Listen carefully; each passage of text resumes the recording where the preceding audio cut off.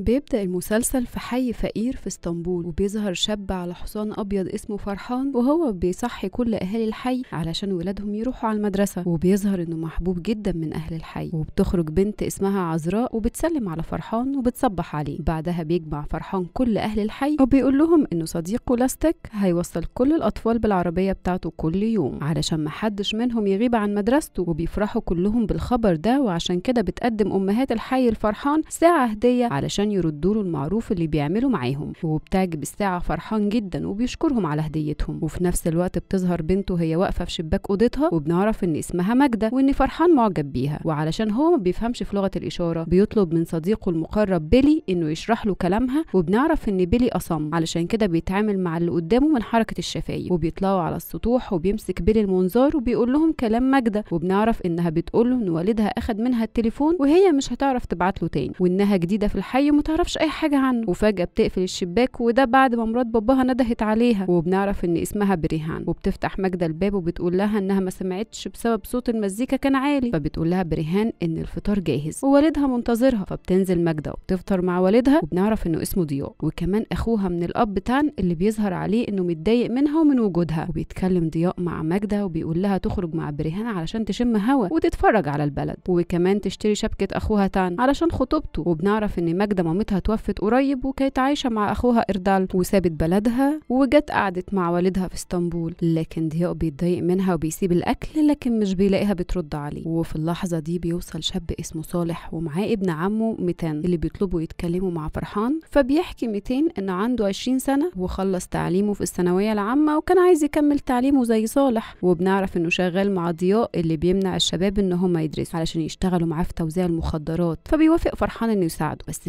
فجأة بيسمعوا صوت خناقة في الشارع وبينزل وبيلاقي إردال أخو ماجدة بيتخانق مع واحد اسمه نظيم من أهل الحي فبتنزل ماجدة وبتدافع عن أخوها. أما فرحان فبيقدر إنه يفض الاشتباك وبيعرف إن ضياء هو السبب فبيقرر يروح له ويتكلم معاه. وبيوصل فرحان على الفندق اللي بيملكه ضياء وبيدخل وبيتكلم معاه وده بسبب إنه بيخرج سكان الحي من بيوتهم من غير حتى ما يديهم فلوس يشتروا بيوت تانية. وبيهددوا إنه لو ما بعدش عنهم هيبلغ عنه عن تجارته للمخدرات وبيسيبه وبيمشي فبيتصل ضياء على مديره سينا وبيبلغه إنه اشترى بيوت كتير من أهل الحي بس رافضين يخلوها وإنه فرحان موقف أهل الحي ضده وإن الأفضل يوقفوا الإجراءات شوية. فبيتضايق سينا وبيقول له إنه قال من زمان يقتل فرحان قبل ما يكبر زي ما حرق أبوه وأمه وبيعرفه إنه فرحان محبوب من أهل الحي. وعشان كده لازم يتصل بالمحامي أسعد ويفهم منه اللي هيتعمل. وفعلا بيوصل ضياء على مكتب أسعد وبيحكي له إنه اتكلم مع سينا في حكاية إخلاء البيوت ولازم يحلها بسرعة. فبيتكلم أسعد إنه ملوش دخل بالحكايات دي وإنه كل اللي عليه إنه هيجيب فرقة علشان تخلي البيوت. وبيتكلم مع ضياء بأسلوب وحش جدا. لدرجة إنه بيتضايق من كلامه وبيعرفه إنه مش شغال عنده عشان يكلمه بالطريقة دي وبيسيبه وبيمشي وبعد ما بيمشي بيتصل أسعد على واحد اسمه سلامي وبيطلب منه يجهز فرقة بكرة. وبعد لحظات بتوصل آيبك على الشركة وبنعرف إن سينا يبقى عمها وبتدخل وبتسلم عليه وبيعتذر لها إنه متأخر ولازم يروح على المنجم وبياخدها معاه عشان توصله وبيحكي لها إنه كلم والدتها وإنها متضايقة جدا لأنها على الرغم من إنها شريكة في الشركة إلا إنها مصممة تشتغل في مكتب محاماة فبتحكي له إنها بتشتغل في مكتب المحاماة اللي تبع الشركة وانها ما درستش في أمريكا حقوق علشان ما تشتغلش بيها. وبتكمل كلامها مع سينا إنه عوضها عن والدها بعد ما توفى وبتودعه وبتمشي. وبنرجع لماجدة اللي بتبقى في السوق مع مرات أبوها بريهان اللي بتحكي لها إن أخوها أردال عصبي جدا. فبترد ماجدة إنه ما شافش والده طول الوقت اتربى مع والدته بس فجأة بتتسرق شنطة بريهان. وبتفضل تجري ورا الحرامي وكمان ماجدة معاها. اللي بيظهر قدامها فرحان وبيعرفها إن الشنطة معاهم وإنه عمل الحركة دي عشان يتكلم شوية معاها. وكمان يفرجها على البلد وبيطلب منها تبلغ أختها إنها تروح على اسم الشرطة. وبعدها بيبدأ فرحان إنه يحكي لها عن نفسه وطفولته وإنه لما كان عنده 12 سنة بيتهم اتحرق وتوفى والده ووالدته. وفضل هو واخواته البنات اللي راحوا عشان يعيشوا مع عمتهم في القرية. واتربى على ايد سكان الحي وبيسأل ماجدة لو كانت معجبة بيه. فبتتوتر وبتقول له إنه بيشبه والدها بس بيقدر يثبت لها إن هما الاتنين مختلفين وإنه بيحاول يساعد أهل الحي مش أكتر. وبتفرح ماجدة بكلامه وبتمشي وهي في طريقها لاسم الشرطة. لكن لما بتوصل على هناك بيزعق لها تان لأنها اتأخرت عليهم. وبترد إنها تاهت في الطريق. وما كانش معاها تليفون عشان تتصل عليهم. وقتها بتوصل الشنطة وبتطمن برهان على حاجتها. وبالليل بيرجع فرحان على الحي وبيروح على بيت صالح وبيقابل والدته ناجية اللي بتبقى محضرة له الأكل. وبتشكره جدا إنه ساعد صالح علشان يدخل الجامعة ويتعلم. فبيرد عليها إنها زي والدته وبيقدم لها مبلغ عشان تدفع الإيجار وتصرف منه. وبيتكلم مع صالح وبيقول له إنه لازم يهتم بدراسته ويديله مصروف ليه عشان يصرف منه في الجامعة. فبيشكره صالح على وقفته جنبه وتعليمه ليه. وبيرجع فرحان على دكان المغسلة الرساله اللي فاتحه وبنعرف إنه عامل مخبأ سري علشان يتجمع مع باقي فريقه اللي بيتفقوا على عملية سرقة جديدة. وبنعرف إن الضحية هتكون بنت اسمها إسراء. والدها صاحب مصنع أحجار وبيدفع رشاوي للناس مقابل إنه يهد الأعمدة. وكل اللي عليهم إن هم يبدلوا الفلوس من غير ما حد يحس. وده اللي هتعمله جونجا اللي بتقدر إنها تتنكر في زي عامله نظافة وبتقدر تصور إسراء وهي بتفتح دولابها. وبتعرف الرقم السري منها وده بمساعدة جنيد وبتاخد الفلوس وبتمشي. وتاني يوم بتوصل ايبيك على الشركة وبتقابل اسعد وبتقول إنها هتروح معاه على الحي عشان تقدر تثبت نفسها لعمها. وبالفعل بتروح على الحي وبيأمر أسعد السكان إن هم يخلوا البيت. لكن ده طبعا ما بيعجبش سكان الحي وبيستغل الاستيك انشغالهم وبيقدر يسرق محفظة إيبك وكمان بيسرق عربيته وبيبلغ فرحان باللي عمله بس لما بيعرف إنها محامية بيطلب منه يوقف العربية عند اسم الشرطة. أما بقى إيبك فبتكون متضايقة جدا بسبب الحركة دي. علشان كده بيتصل أسعد على تان وبيطلب منه يتصرف. وإنه مش هيدفع له فلوس عشان سكان الحي يسرقوه. وبعد لحظات بيرجع فرحان وبيحكوا له على كل اللي حصل. فبيطلب منهم يشغلوا المزيكا علشان يحتفلوا وبيبدأ يغني مع سكان الحي اللي بيبقوا فرحانين بيه لحد لما بيشوف ماجدة وبيروح عشان يتكلم معاها. فبتحكي له إنها كذبت عليه وكمان أخذت التليفون من والدها. وفي اللحظة دي بيوصل تان ومع رجالته اللي بيقطعوا فرحه سكان الحي وبيسألهم عن العربية اللي اتسرقت. وبتحصل خناقة ما بينهم وبيطلع تان بمسدسه هو ورجالته وبيضربوا نار في الهواء. لكن فجأة طلقة بتيجي بالغلط في صدر صالح وبيهرب تان مع رجالته وبيتصدم فرحان لما بيلاقي صالح غرقان في دمه. وبينقلوه على المستشفى لكن لسوء الحظ إن هما ما بيقدروش يلحقوه وبيتوفى وبيبقوا كلهم في حالة صدمة من الخبر. وبيوصل الخبر لأسعد اللي اول لما بتسمعه إيبك بتتصدم ما بتكونش متوقعة إنه يحصل ده.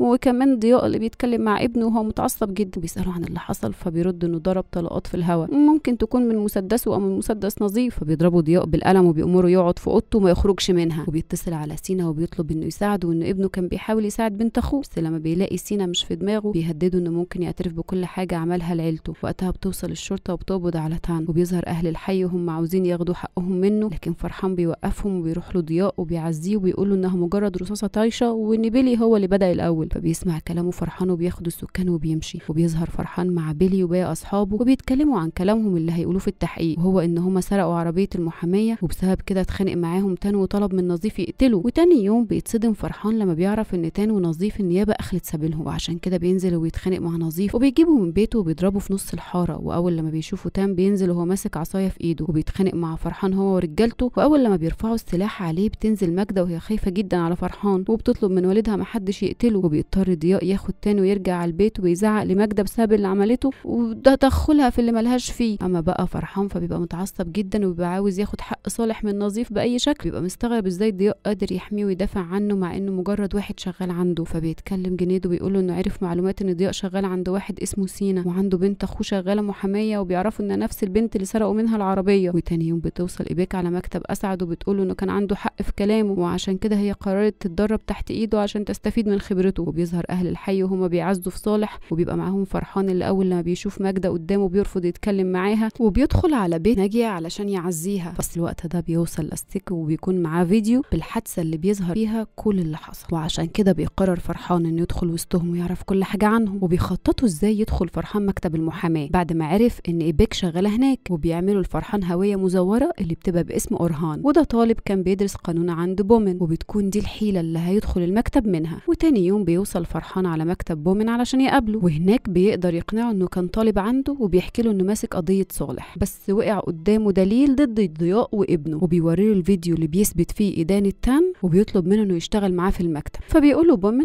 ان هو هيفكر وبيسيب رقمه مع المساعدة بتاعته وبتوصل إيبك وبتقابل فرحان وبتتعرف عليه. وبالليل بيرجع فرحان على البيت وبيحكي لبيلي على اللي حصل. وإنه مستني يكلموه علشان الشغل. اليوم اللي بعده بيظهر فرحان مع أصحابه وكل أهل الحي عشان يحضروا جنازة صالح. وبتظهر والدته وهي حزينة ومنهارة على فراق ابنها ليها. بس فجأة بيلاحظ فرحان إيبك هي كمان في الجنازة وبيعرف أصحابه وبيحاول إنه يهرب منها. بس بتنده عليه وبتوقفه وبتسأله عن سبب وجوده. بس فجأة بتنده عذراء على فرحان باسمه الحقيقي وبتقف إيبك مصدومة من كذبه عليها. لكن فرحان بيفكرها إنه محامي العيلة وكان لازم يحضر الجنازة وبتقدر جونجا إنها تمنع الشك جواها. لما بتشكر فرحان على وجوده معاهم وبعدها بتتكلم مع ايبك وبتقول لها مش عايزة تشوفها في الحي مرة تانية. بعد دقايق بتيجي مكالمة لفرحان من بومن وبيطلب منه يقابله. وقتها بيوصل ضياء ومعاه تان وكمان أسعد المحامي اللي بتجيله مكالمة من المعمل الجنائي. وبنعرف إن الرصاصة خرجت من مسدس تان وإن التقرير قدامه يومين ويروح النيابة. تخلص مقابلتهم مع بومن وبيكون فرحان قاعد مستني. وأول لما بيشوف ضياء بيحاول بقدر الإمكان إنه ما ياخدش باله منه. بعدها بيدخل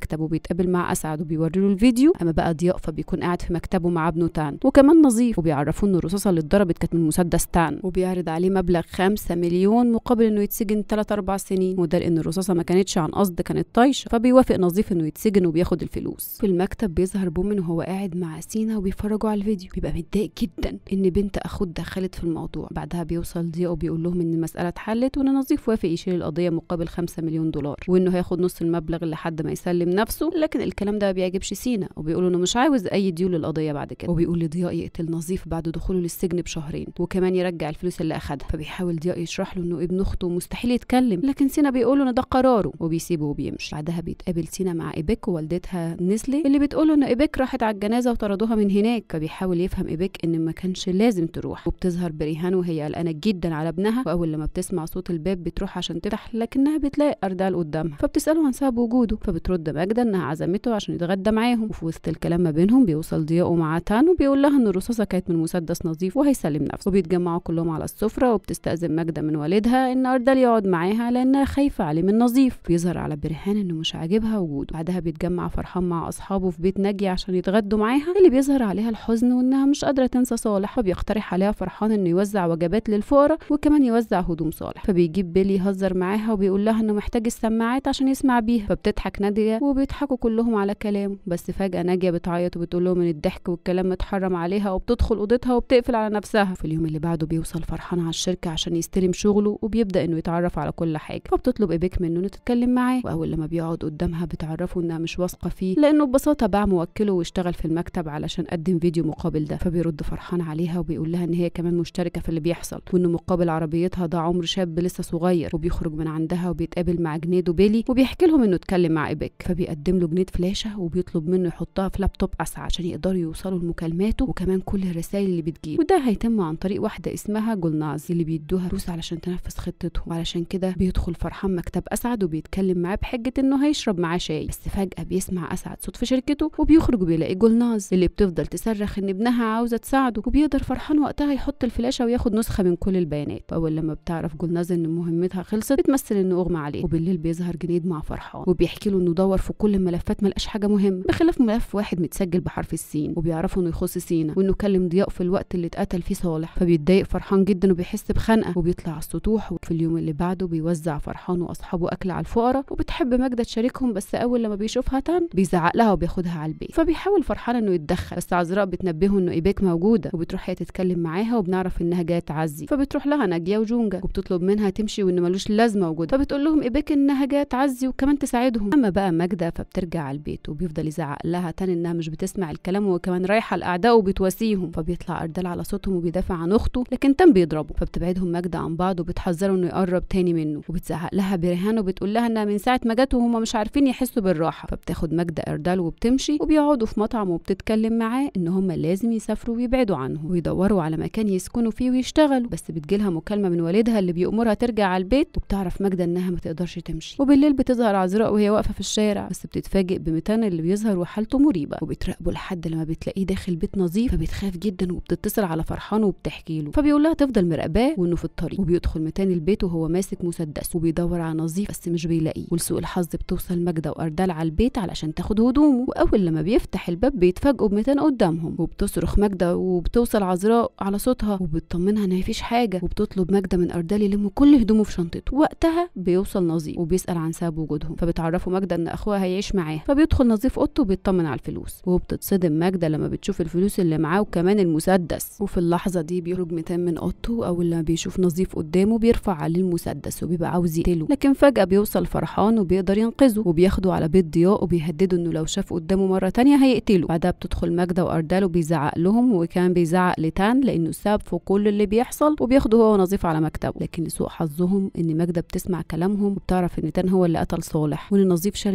التهمه مكانه. ووقتها بيطلب ضياء من نظيف إنه يسلم نفسه. ومفيش داعي إنه يتأخر أكتر من كده. بعد كده بياخد فرحان متين على ناجية وبيعرفها إنه كان عايز يقتل نظيف وياخد بطار صالح. وبيطلب من ناجية إنه يقعد معاه. فأول لما بتسمع كلامه بتقرب من متين وبتحضنه وهي منهارة وبتعيط. وبيمشي فرحان بس بتجيله مكالمة من ماجده وبتقول إنها سمعتهم وهما بيتكلموا وإن تان هو القاتل. وواخد نظيف علشان يسلمه للشرطة. فبيجري فرحان علشان يلحقه. أول لما بيوصل على اسم الشرطة بينده على نظيف. فبيبص له بس بيكمل في طريقه وبيتقبض عليه. فبيتضايق فرحان جدا لحد ما بتجيله مكالمة من لاستيك بيقول له فيها إنه واقف قدام بيت ايبك فبيزعق له فرحان وبيطلب منه يرجع وبيبلغهم إنه تان هو اللي قتل. وبيقفل المكالمة بس قبل ما يتحركوا بتوصل عربية وبينزل منها طفل صغير اسمه اوزال وبنعرف إنه ابن ايبك وإنها مطلقة منفصله عن جوزها. وبنرجع لماجدة اللي تحضر الأكل لوالدها بس بتجيله مكالمة من أسعد وبيبلغوا فيها إن نظيف اعترف وبتفرح بريهان جدا بالخبر ده. وبتحضن تان وبتبقى مبسوطة إن ابنها هيكون جنبها. وبيطلب منهم ضياء محدش يفتح سيرة الموضوع ده قدام حد لكن أول لما بيخرج بيلاقي ماجدة وأردال واقفين قدام الباب فبيتجمعوا كلهم على العشاء. وبيزعق ضياء لماجدة بسبب إنها راحت للجيران رغم العداوة اللي ما بينهم. فبتتكلم بريهان إن نظيف اخد سلاح تانو هو اللي قتل. وبتتأكد ماجدة إن هي كمان عارفة الحقيقة ومخبياها. وبتطلب من والدها إن أردال يقعد معاهم. فبيوافق ضياء عشان ما تحصلش مشاكل. وفي الوقت ده بيوصل بيلي مع لاستيك وبيبلغوا فرحان إن إيبيك عندها طم منفصل عن جوز فبيعرف إن فعلا نيتها كويس. وإنها جت على الحارة لما حست بوجع الأم. في نفس الوقت ما بتعرفش ماجدة تنام وبتلبس هدومها وبتخرج من البيت من غير ما حد يشوفها وبتتصل على فرحان وبتطلب تقابله. واول لما بيتقابلوا بيحكي لها فرحان إنه مش مصدق اللي بيحصل وإن نظيف باع حريته مقابل الفلوس وإنه مش هيرتاح له بال غير لما يجيب حق صالح. بعدها بيغير الموضوع وبيتمشى مع ماجدة فبتقول إنها كانت مترددة إنها تبعت له أو تتكلم معاه. فبيسألها فرحان لو كان في مشاعر من ناحيته ليه. فبتعترف له ماجدة إنها بتحبه وبيقرب منها فرحان وبيبوسها وبترجع ماجدة على البيت وهي مبسوطة بالوقت اللي قضيته معاه. وتاني يوم بتظهر ايبك وهي في الشركة وبتحاول تفهم من أسعد علاقة عمها بقضيه ضياء ولما ما بتطلعش منه بأي معلومة بتمشي وبتتصل على عمها وبتطلب إنها تقابله. وبيظهر سينا وهو في الفندق مع نسلي وبيظهر إن هم على علاقة ببعض. فبيعرفها إن ايبك في الطريق وبتضطر تمشي قبل ما تشوفها. واول ما بتخرج نسلي بتشوف ايبك بس لحسن الحظ انها مش بتشوف وبيوصل فرحان على الفندق بعد ما طلب من بيلي ولاستيك يراقبوها وقتها بتقعد ايبك مع عمها في المطعم وبتسأله عن علاقته بضياء فبيحكي لها إن مفيش علاقة ما بينهم انه مجرد واحد بيساعدهم. وده بسبب إن في زعيم عصابة في الحي اسمه فرحان. بيوقف لهم كل شغلهم وبتقتنع ايبك بكلامه وبترجع الشركة. بس وقتها بيكون منتظرها فرحان وبيتكلم معاها وبيقول لها إنه ما خدش الفيديو علشان يشتغل في الشركة. فبتسأله ايبك عن السبب فبيحكي لها إنه عاشر ناس كتير. علشان كده اختارها لأنها هتكون قد الثقة وبيعرفها إنه هيحكي لها كل حاجة. وبترجع إيبك على مكتبها وبيدخل عليها أسعد وبيسألها عن اللي عرفته من عمها. فبتحكي له إنه قال لها نفس الكلام اللي قاله علشان كده صدقته. وقتها بتفتكر كلام فرحان ليها وهو بيقول لها إن والدته لما توفت ربته الخالة ناجية زي ابنها. وعلشان كده هو مش بيسيب حق صالح. وإنه شاكك إنه مكتب المحاماة هو اللي بيساعد ضياء وبيداري على جرايمه فبيقول لها أسعد إن الأحسن ما تقفش قدامه. وبيخرج على مكتبه وبيتصل على بومن وبيحكي له إنه اتكلم مع إيبك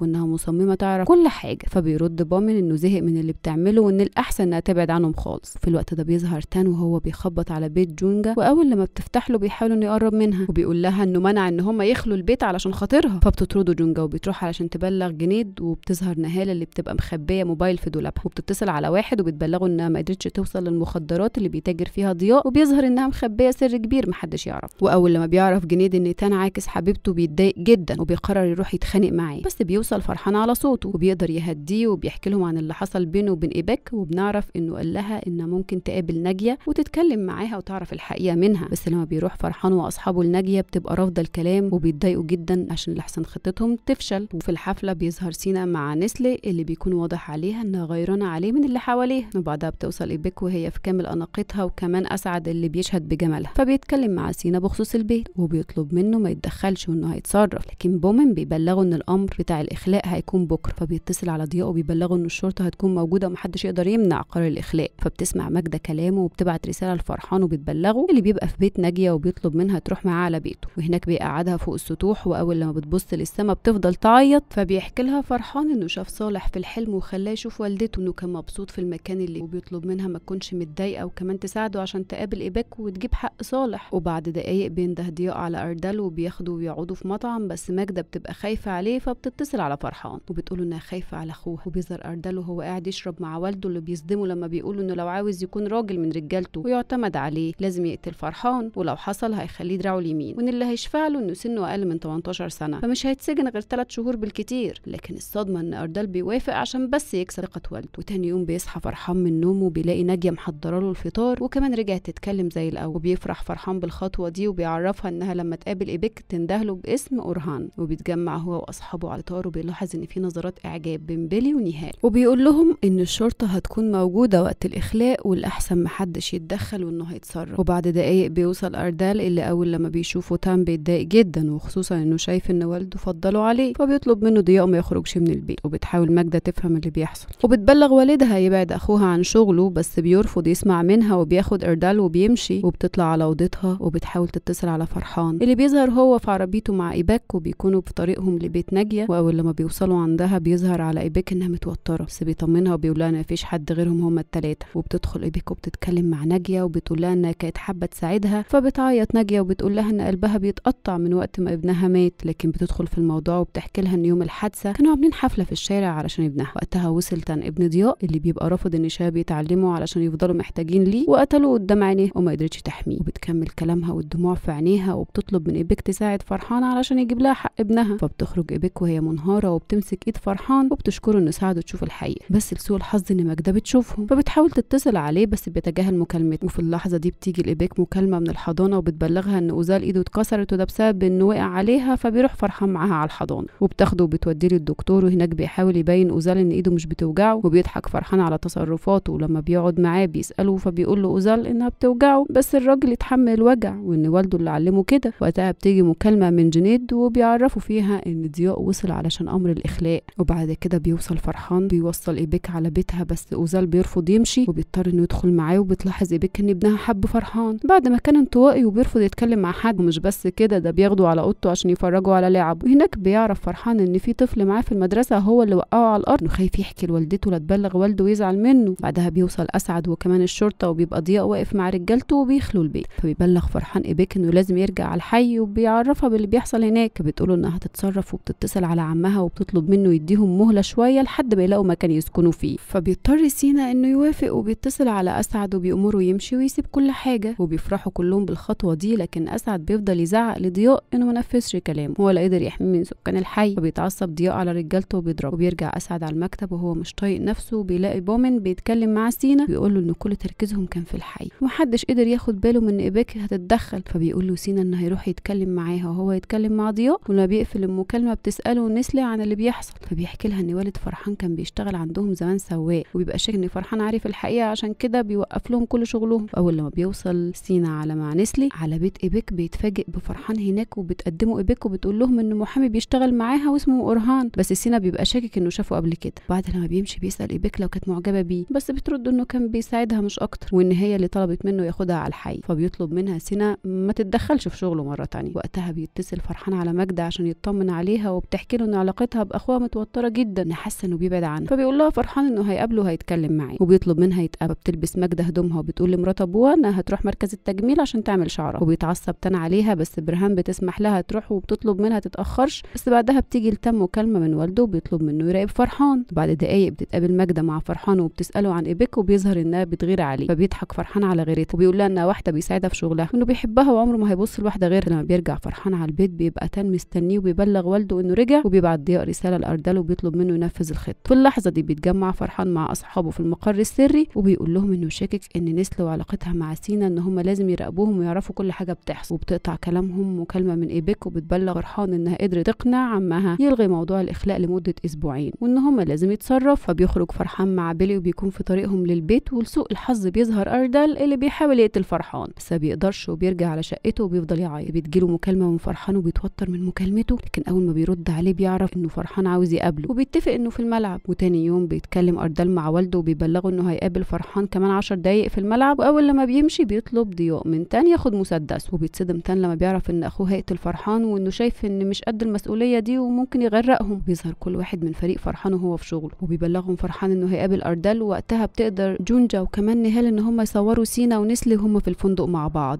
وبنرجع لفرحان اللي بيتقابل مع أردال وبيقول إنه شايف حالته مش مظبوطة وإن الأحسن ليه يبعد عن شغل والده وان أخته قلقانة عليه. فأول لما بيسمع أردال سيرة أخته بيتوتر جدا وبيفضل يفتكر كلام والده ليه لحد لما بيرفع مسدسه في وش فرحان وبيطلب منه فرحان ينزل المسدس. فجأة بتيجي الرصاصة في بطنه وبيقع على الأرض وبيجري أردال قبل ما حد يشوفه وبيظهر ضياء وتان وهما بيراقبوه من بعيد وبيمشوا بسرعة. وبيكتشف الحادثة طفل صغير وبينده على باقي السكان. فبيتصلوا على الإسعاف وبيمسك واحد منهم تليفون فرحان وبيكلم ايبك لأنها آخر رقم على تليفونه. وبيبلغها إنه اتضرب برصاص واتنقل على المستشفى. وبتخرج ايبك بسرعة وبتركب عربيتها وبيمشي وراها لاستيك. اللي أول لما بيوصل على المستشفى بيتصدم لما بيعرف إن فرحان اتضرب بالرصاص. وبيتصل على أصحابه وبيبلغهم. وفي أوضة العمليات بيظهر فرحان وهو حالته صعبة جدا. كان الدكاترة بتقدر تخرج الرصاصة من بطنه وبيفضل يفتكر كل ذكرياته مع مجد. وبيظهر أصحابه وهم مش مصدقين اللي حصل له. وإنه إزاي اردال يفتكر إنه يقدر يقتله. بعد دقايق بيوصل بيلي وباقي أصحابه ولما بيلاقي بيك موجودة بيقرر إنه يتصرف وبيقدم نفسه على أساس إنه ابن عمه فرحان وبياخد منها كل متعلقاته وبتفضل ايبك معاه لحد لما بيخرج فرحان من أوضة العمليات وبيطمنوا عليه وبتاخد ايبك رقمه عشان لما تحب تطمن على فرحان. وبيدخل بيلي وبيطمن عليه وبيعرف منه إنه اردال اللي عمل كده وبيخرج بيلي علشان يطمن ويطمن باقي أصحابه. وبتظهر ماجدة وهي واقفة في شباك أوضتها وأول لما بتلاقي والدها خرج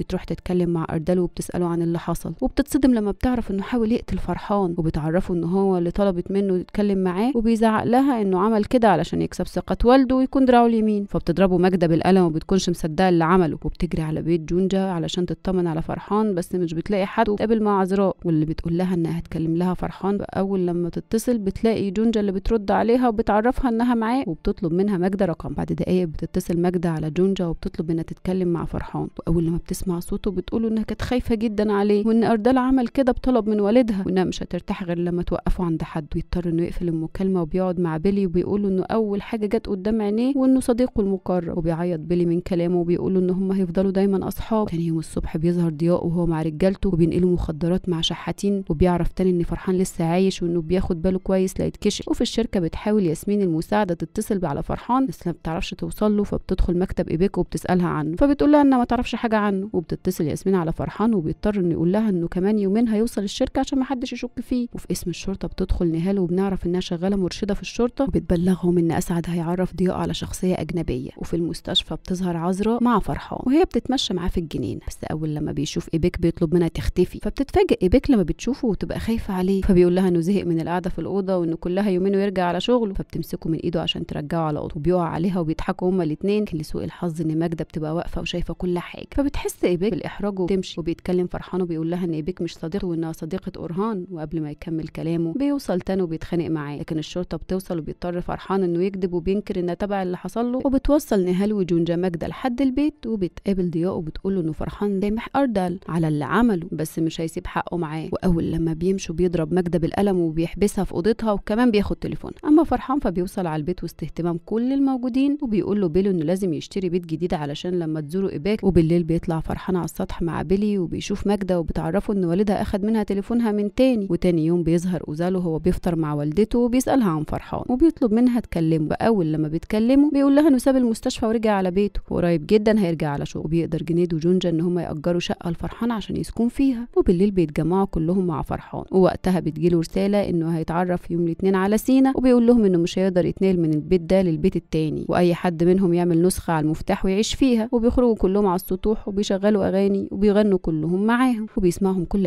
اهالي الحي وبتظهر ماجدة وهي فرحانة برجوعه على بيته من تاني وفي اليوم اللي بعده بيوصل فرحان على شغل وبيقابلوا أسعد وكمان ايباك واللي بتلاحظ إن ياسمين بتراقبهم فبيمشي أسعد وهو مستعجل عشان يلحق يسجل العقود مع السائح الأجنبي وضياء وبتمشي وراه نهال وبيلي لحد ما بيوصلوا على الشهر العقاري وبتبعت الشرطة موقعهم عشان يقبضوا عليهم أما تان فبياخد شنطة الفلوس وبيمشي وبيروح وراه لاستيك واول لما بيخرج ضياء والسائح بيتقبض عليه وفي الطريق بيقدر فريق فرحان إنه يسرق شنطة الفلوس ويهرب بيها لكن لسوء الحظ إن أردال بيشوفهم وبيبلغ تان وبياخد رجالته وبيروح على المغسلة وبيكسروا المكان وبيطلع كل فريق فرحان وبيتخانقوا معاهم بس لسوء الحظ إن كلهم بيتصابوا وبيدخلوا المستشفى. وفي الشركة بتبعت ايبيك رسالة لفرحان وبتقول له يخرج بعدها بربع ساعة علشان يقابل عمها في الفندق. وأول لما بتوصل ايبيك على هناك بتتفاجئ بوالدتها خارجة من أوضته وبتكتشف إنها على علاقة معاه فبتستخبى عشان ما تشوفهاش. وبتنزل وهي منهارة وبتعيط لكن بتلاقي فرحان قدامها وبيحاول يفهم سبب الحالة اللي هي فيها لكن قبل ما تحكي له بتنده عليه ماجده باسمه الحقيقي. فبتفتكر كلام عمها ليها لما قال لها إن في رئيس عصابة اسمه فرحان وكمان بتفتكر وقت ما شافته في الجنازة وبرده اتنده عليه بنفس الاسم وبتعرف إنه خدعها طول الوقت ده. فبيحاول فرحان إنه يفهمها اللي بيحصل وبيقول لها إنه عمها مشترك مع ضياء علشان يدخلوا المخدرات للحي لكن ايبيك بترفض تسمع له وبتمشي. فبيضطر إنه يلحق ماجده وبيفهمها إنه كل اللي بيعمله ده عشان قضية صالح لكن بتجيله مكالمة من عذراء وبتعرفه إنه كل فريقه اتنقل على المستشفى. فبياخد ماجده وبيروحوا على هناك وفي الطريق بيحكي لها فرحان إنه دخل مكتب المحاماة بهوية مزورة علشان يقدر يجيب حق صالح. وبتعتذر له إنها بوظت كل اللي بيخطط ليه وبيعرف منها إنها كانت بتراقبه وبيوصلوا على المستشفى وبيطمنوا على كل أصحابه لكن جنيد بتكون حالته صعبة فبتعيط جونجا أول لما بتشوفه وبتعرفه إنه ممكن ما يقدرش يمشي من تاني. أما إيبيك فبتمشي منهاره ومش مصدقة اللي شافته لكن بتجيلها مكالمة من عمها اللي بيعتذر لها إنه مش هيقدر يقابله وبتكذب عليه وبتقول إنها كانتش لسه وصلت على الفندق وبتاخد بعضها وبتروح على بيت والدتها. أول لما بتشوفها بتعرفها بخيانتها وانها شافتها وهي مع عمها وبتحاول نسل تشرح لها لكن إيبيك بترفض تسمع وبتسيبها وبتمشي. وبتمشي وبتظهر بريهان وهي قلقانة جدا على ضياء وكمان تان اللي اتخانق ومتصاب وش لكن وقتها بتيجي مكالمة لتان وبيعرف إن والده اتقبض عليه وبتروح بريهان على الاسم علشان تلحق جوزها وبيروح فرحان على مكتب ضياء وبيقتل كل رجالته وبيلاقي تان وبيفضلوا يضربوا في بعض بالرصاص. لحد ما بيقدر يمسكه وبيقعده على الأرض بيحط المسدس على دماغه بس وقتها بتوصل ماجدة وبتحمي أخوها وبتطلب من فرحان يبعد عنه لكن بتوصل الشرطة وبتقبض على تان وكمان أردال وبيظهر إن هي اللي بلغته. أول ما بيخرج ضياء من التحقيق بيعرف إن فريق فرحان سرق الفلوس وكمان اتخانقوا مع ابنه تان وبيتعصب ضياء وبيتخانق معاها وقبل ما يخلص كلامه بيدخل تان وهو مقبوض عليه. في اللحظة دي بتتصل إيبيك على فرحان بعد ما رجع على بيته وبتطلب منه إنها تتكلم معاه بس كفرحان مش أورهان فبيبعت لها عنوانه وبيقعدوا يشربوا مع بعض وبتسأله عن حكايته فبيقول لها إن ناجية هي أمه التانية اللي ربته إنه كان بيعتبر صالح زي أخوه بالظبط. بس بيقطع كلامهم ماجده اللي بتتصل عليه وبتتضايق جدا لما بتعرف إن إيبيك موجودة معاه فبيقول لها إن هما بيتكلموا في الشغل وأول لما يخلص هيكلمها. وبيكمل كلامه بإنه من ساعة ما اتولد وهو عارف إن الحي بتاعه بيخرج منه مخدرات وان عمها شغال مع ضياء في التجارة بتاعة المخدرات. فمش بتصدق ايبيك كلامه وبيضطر يقول لها إنه عرف إن عمها على علاقة بوالدتها. بعد كلام طويل وبرضه ما اقتنعتش ايبيك بكلامه. بتطلب إنها تمشي لكن فرحان بيرفض إنها تمشي بحالتها دي. وبيطلب منها تقعد على الكنبة لحد لما يعمل لها قهوة لكن ايبيك من كتر التفكير بتنام. تاني يوم بتصحى ايبيك من نومها وبتطلع تتفرج على البيت لكن لسوء الحظ إن ماجدة بتشوف وبتعرف إنها كانت نايمة عند فرحان فبتتضايق جدا. وبعدها بتجهز ايبيك نفسها وبتمشي وبتسيب ورقة شكر لفرحان على استضافته ليها. وبيوصل فرحان على مكتبه وبيسمع ايبيك مكالمة لأسعد مع عمها بس ما بيكونش واضح منها أي معلومات. بتقترح عليه إنه يراقب عمها ويعرف منه كل تحركاته. فبيطلب منها تساعده في الموضوع ده. بعدها بيقعد على مكتبه وبيتصل على ماجده بس بترفض تتكلم معاه وبتقفل الخط. بعد دقايق بتظهر ايبيك مع فرحان وهي واقفة قدام بيت عمها وبيديها ميكروفون عشان تحطه له ويعرف منه كل حاجة بيقولها. وبتدخل ايبيك وبتقابل سينا وبيعتذر لها عن اخفائه لعلاقته بوالدتها. وبيقول لها إنها بدأت لما كانوا في أمريكا بعد ما والدها توفى وبتطلب منه إيبيك حاجة تشربها وبتقدر إنها تحط المايك وبتمشي. وبيوصل فرحان مع إيبيك على المقر السري وبيعرف أصحابه عليه لكن وقتها بيتصل ضياء على سينا وبيسمعوا المكالمة وبيظهر فيها إن ضياء بيهدده إنه لو ما وقفش جنبه هيبلغ إيبيك بكل حاجة خصوصا اللي عمله في والدها زمان. وبتقرر إيبيك إنها تقابل ضياء وتتكلم معاه بس فجأة بيتصل سينا على واحد من رجاله ضياء اسمه كنان وبيطلب منه يقتله. فأول لما بيوصل ضياء الفندق بيطلب من كنان يأمن المكان لكن بتجيله مكالمة وأول لما بيخرج بيلاقي كنان رافع عليه المسدس وعايز يقتله. لكن ضياء بيقتله وبنعرف إن فرحان هو اللي اتصل بيه وبلغه. وبعد دقايق بيوصل فرحان وإيبيك على فندق ضياء وبيسمعوه إن سينا يتخلى عنه وباعه وبتسأله إيبيك عن السر اللي كان عاوز يحكي ليها. فبيقول لها إن عمها طلب إن هم يقتلوا والدها وإنه عارف مين اللي قتله. وبتتصدم إيبيك من اللي بتسمعه وما بتكونش مصدقة إن عمها يقتل والدها. وطول السنين دي كان بيحاول يبين إنه بيحبها. تبقى خايفة لو والدتها تبقى عارفة ومع ذلك كملت معاه. وخوفها بيزيد لا ترجع البيت وبيروحوا لها على هناك. وبيطلب منها فرحان إنها تقعد بيته هي وابنها. وبيرجع ضياء على البيت وهو خايف جدا وبيدخل مكتبه وبيلم كل فلوسه وبيطلب من ماجده وبريهان ياخدوا كل حاجة غالية علشان يروحوا على المزرعة يقعدوا. وبتتصل ماجده على فرحان علشان تبلغه بس بتتضايق لما بتعرف إن ايبيك قعدت معاه هي وابنها. وبتقفل الخط وكمان الشباك وبترفض تكلمه. وبعد دقايق بيقعد فرحان يتكلم مع ايبيك بخصوص موت والدها. وبتحكي له إنه لما عمل حادثة كان في بورصة وكان شغله هناك. فبيستغل فرحان وبيقول لها إنه في نفس الوقت اللي كان بيسافر فيه ضياء على المدينة دي لكن ما بيكونش متأكد من معلوماته. فبتعتذر له ايبيك إنها سببت له مشاكل وإنها بتفكر تسيب البلد وترجع من تاني على أمريكا بس بتبقى خايفة على ابنها. وفي وسط الكلام ما بينهم بتشدها صورة فرحان وهو صغير اللي بيبقى متصورها مع والده ووالدته. اول لما بتشوف الصورة بتقول إنها شافته قبل كده. وبتوري له الصورة اللي كانت متصوراها وهي صغيرة. وبيظهر فرحان في الصورة. وبيرجع فرحان بذاكرته وبيفتكر لما كان صغير ووالده شغال سواق عند والدها وتعرفوا هما الاثنين على بعض. وبيفوق فرحان من ذكرياته وبيقول لها إن في سر محدش يعرفه غير ضياء ولازم يعرفوه. فبيقول لها إنه عنده فكرة ولازم تتنفذ. وتاني يوم بتوصل الشرطة على بيت ضياء وبيسلموه تان واردال وبيعرفوا الشرطي إنه لو ما اعترفش على سينا هيقضي كل حياته في السجن. فبيلبس ضياء هدومه وبيخرج وبتتكلم ماجدة مع اردال وبتطلب منه يرفض يروح على المزرعة مع والدها. بتروح تبلغ مرات أبوها قرارها. بعدها بتنزل تقابل فرحان وبتقول له إن علاقتهم ما ينفعش تستمر وإنها هتسيب البلد وهترجع على بورصة مع أخوها. فبيحكي لها فرحان إنها فهمت علاقته بايبيك غلط وإنه بيساعدها مش أكتر وإن عمره ما ينسى أول يوم وصلت للحي فيه. ووقع حبها من أول نظرة. وبيقدم لها خاتم والدته وبيطلب منها تتجوزه. فبتقرب منه ماجده وبتبوسه وبتقول ده أحلى خبر سمعته في حياتها. وبياخدها وبيقعدها في المقر الرئيسي وبيقول لها إنه هيتقابل مع والدها ويفتحوا في موضوع جوازهم. وبعد لحظات بيتقابل فرحان مع ضياء بحجة إنه هيرجع له فلوسه اللي أخدها منه. لكن بيسأله والده عن الراجل اللي كان شغال عنده بحكم إن كان صديقه المقرب. ولما بيرفض ضياء يقول له بيطلع فرحان بمسدسه وبياخده معاه. أما ايبيك فبتتصل على عمها وبتطلب منه يتقابلوا في بيتهم القديم. وأول لما بيتقابلوا بتحكي له إنها قابلت ضياء. وحكى لها إن هو اللي قتل والدها. فبيقول لها سينا إنه بيكذب عليها وما تصدقش الكلام. بس بتفتح الباب الباب وبتصدم سينا لما بيشوف قدامه فرحان وضياء اللي بيكتفهم هما الاتنين وبيسألوهم عن الحقيقة اللي مخبيينها. فبيرفض ضياء يتكلم وبيضربوا فرحان بالرصاص في رجله. فبيخاف سينا وبيحكي لهم إن ضياء قتل والدها. ولما شاف والد فرحان حرق بيته علشان ما ينفعش إن هو يبلغ عنه. وانه لما عرف سكت وعشان كده كان بيهدده ضياء. فبيحاول ضياء يدافع عن نفسه. بس فرحان بيقتله وبيقتل سينا. وبتنهار إيبك من كل اللي بيحصل. وبتوصل الشرطة وبيلاقوا الجثتين. وبتتأيد القضية ضد مجهول عشان ما فيش بصمات توضح من القاتل. وبعد خمس شهور بتظهر إيبك في المحكمة وهي بتترافع عن قضية صالح وبتثبت فيها إن تان هو القاتل الحقيقي وبيتحكم على تان بالسجن لمدة أربع سنين وثمان شهور. ده لأنه قتل خطأ. أما نظيف فبيتحكم عليه ست شهور لأنه ضل للمحكمة. ولكن عشان هو قضاها في السجن فالنيابة بتطلق سراحه وبتشكر ناجية إيبك لأنها جابت لها حق ابنها. وبعد أيام بيتجوز فرحان من ماجدة وبيبقى الفرح فوق السطوح وبيحتفل كل أصحابه بجوازهم وبيتجوز بيلي من نهال وكمان جنيد من جونجا وبتكون حامل منه. وبيبقوا كلهم فرحانين بوجودهم مع بعض وبتخلص الحكاية. الفيديو ده كتبته داليا محمود. وسجلته أمل عقيل. ومنتجه عمر حجاج. وما تنسوش تعملوا فولو لصفحة فيلم في الخمسين عشان تتابعوا ملخصات الأفلام الدرامية بصوت محمد طاهر. ده اللي هو أنا يعني. وفولو لصفحة محمد طاهر عشان تتابعوا الملخصات الكوميدية. وفولو لصفحة هكون مطاطا عشان تتابعوا ملخصات الكرتون والأنمي. سلام.